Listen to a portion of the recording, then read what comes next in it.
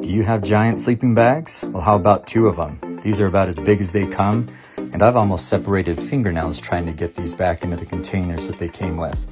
With our compression bags, we make it easy. Just fold everything up, put it onto the bag, buckle it in, and cinch it down. We'll save you a lot of space, keep everything nice and clean and dry. It's just a better way to pack.